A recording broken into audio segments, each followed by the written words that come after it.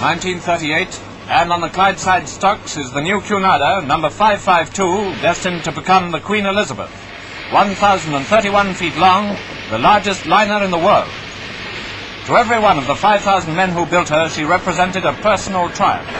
A ship to uphold our maritime tradition, a memorial to the prowess of Britain's shipbuilders. But the triumphs of the 552 were not to be easily won on the Atlantic crossing. The time of her launching was a time of crisis. Munich was upon us. The world was on the brink of war. With affairs of state heavy upon him, His Majesty was unable to attend the launching, but the Queen and the two princesses were there, and 300,000 voices were raised in a real Clydeside welcome.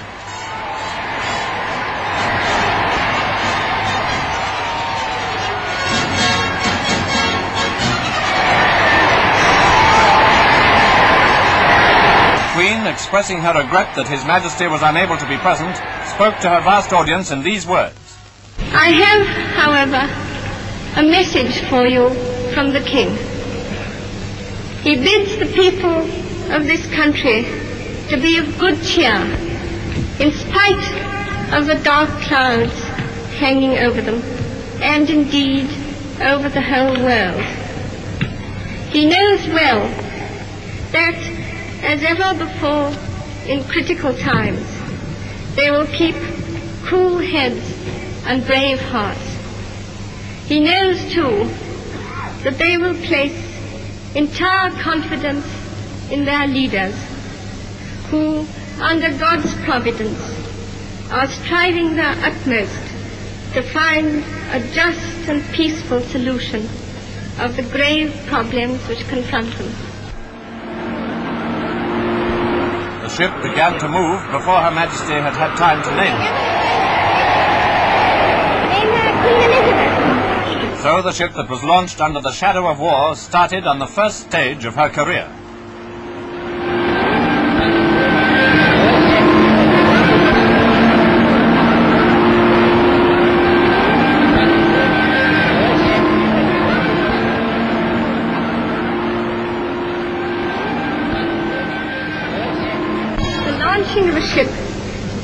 The inception of all great human enterprises, an act of faith. We cannot foretell the future, but in preparing for it, we show our trust in a divine providence and in ourselves. We proclaim our belief that by the grace of God and by man's patience and goodwill, order may yet be brought out of confusion and peace out of turmoil. With that hope and prayer in our hearts, we send forth upon her mission this noble ship. On that day in 1938, many people must have wondered, was the Queen Elizabeth to take her place as the greatest of all peacetime liners, or was her work to be done in the shadow of another great war? During the time of her fitting out, the international outlook had become brighter. But as the time for her maiden voyage approached, the situation became grim again. This time, it was inevitable.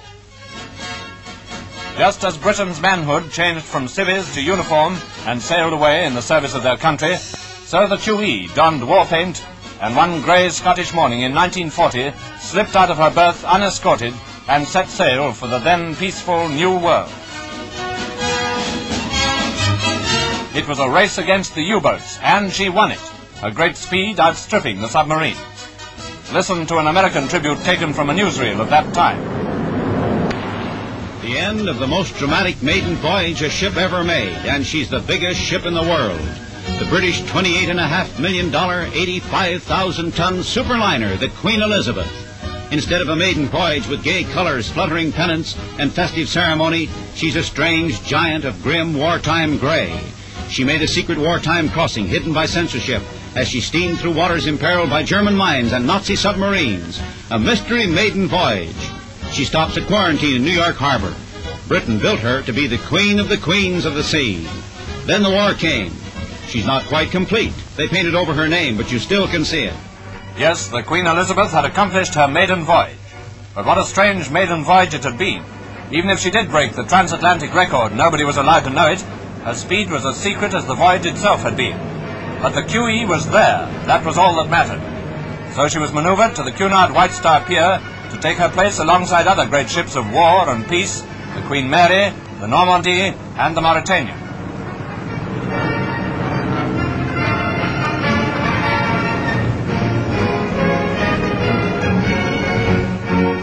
From now on, complete secrecy shrouded the movements of the Queen Elizabeth. No mention could be made of her progress. But in November of the same year, we were allowed a brief glimpse as she slipped out of New York Harbor on her second voyage. Her destination and her mission were closely guarded secrets, but many people made their own guesses as the great grey ship steamed away into the mist of a winter's morning. Of her wartime trips, nothing more was heard. But when the war in Europe was over, the QE's movements again became public property.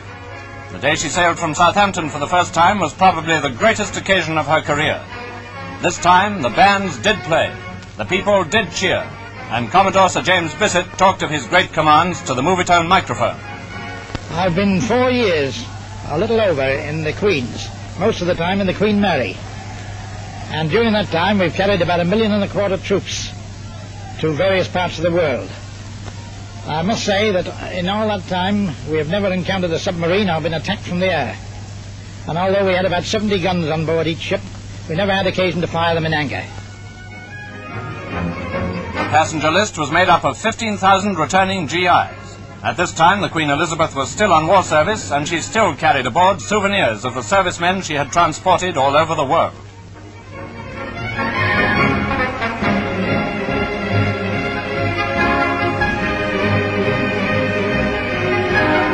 And so from Southampton, the Queen Elizabeth leaves on what, from the ceremonial point of view, was the nearest approach to a maiden voyage she had ever known.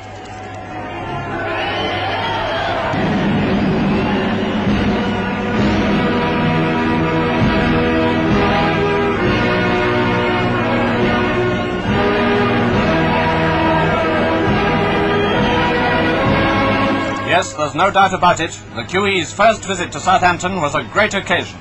The war was over, the GIs were going home to their families at last, and though England was sorry to say farewell to these cheery ambassadors of the New World, she was glad for their sakes that they were homeward bound.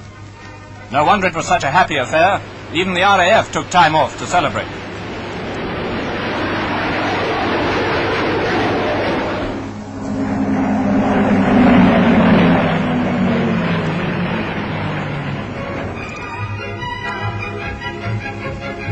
Yes, it was peace, or rather the transitional period between peace and war. And when the greatest warship in the world, HMS Vanguard, left the Clyde on her trials, she passed the greatest of the ships of peace, undergoing the change from the dull grey of war for the brighter colors of passenger service.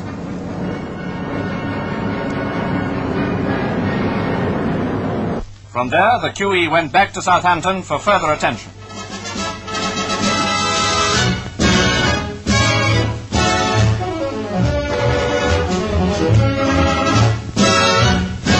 The great dry dock, final preparations were made before her demobilization and handing back to the Cunard White Star Line.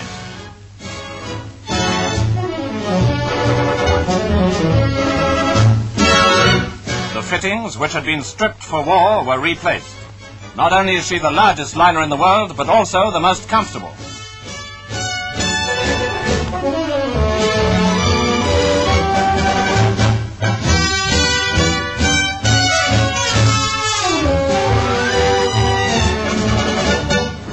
Now the QE was ready for her speed trials, and what's more, her royal speed trials, for the Queen herself was to sail in her.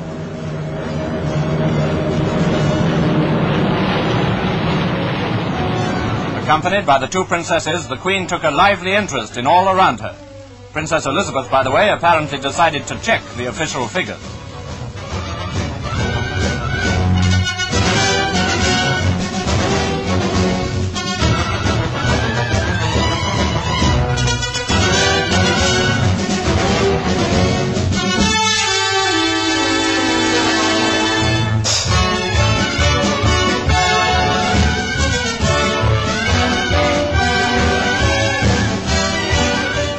Last, the Queen Elizabeth was a passenger liner undergoing speed trials like any other great ship of our time.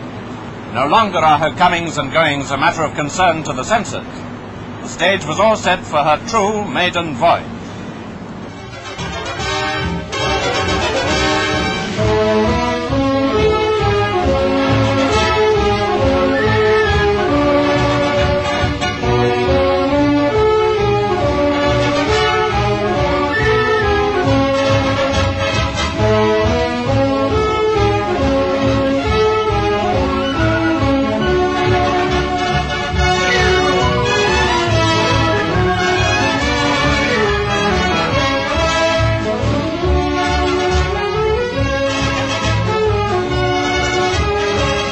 As Her Majesty left the ship after her trip, she turned to wave good luck and Godspeed to the world's greatest liner.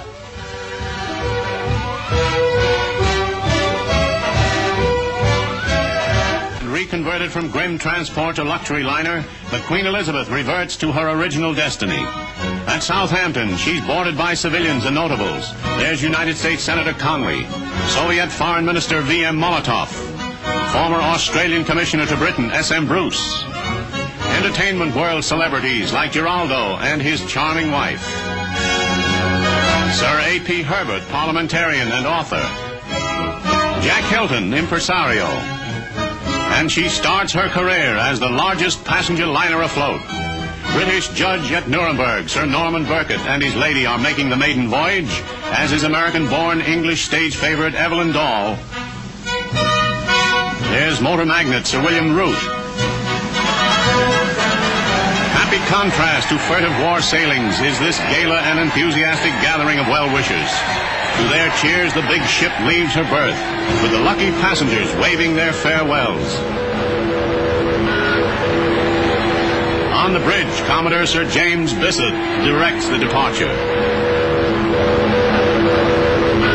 An air view discloses the overall majesty of the liner, with her streamlined beauty apparent from all angles as the snub-nosed terriers of port slowly push her huge hulk from the dock.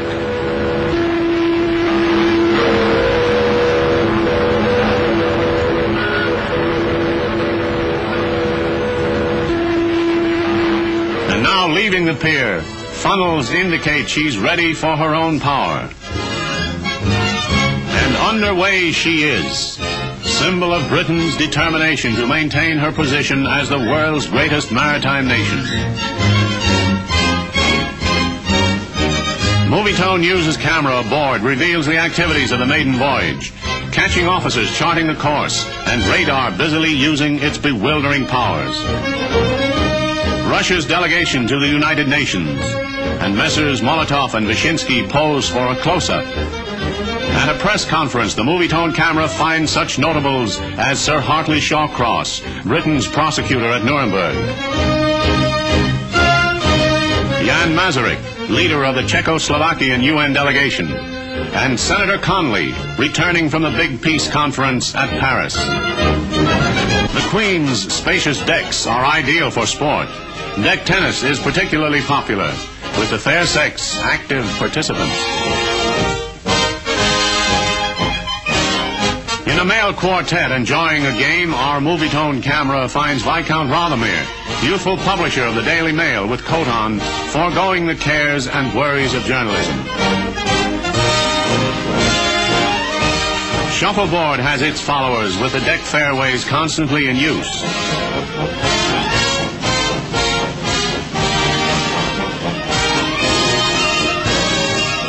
Under the watchful eye of the skipper, Mr. Molotov now takes the wheel.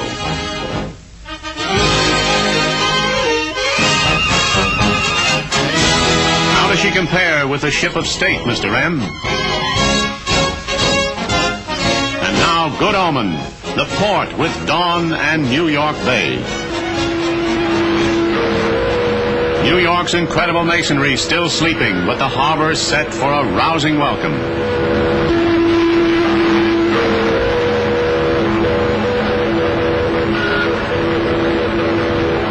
Another view of the famous skyline. Port fireboats spume watery geysers of welcome to the great ship, to the enjoyment of the travelers.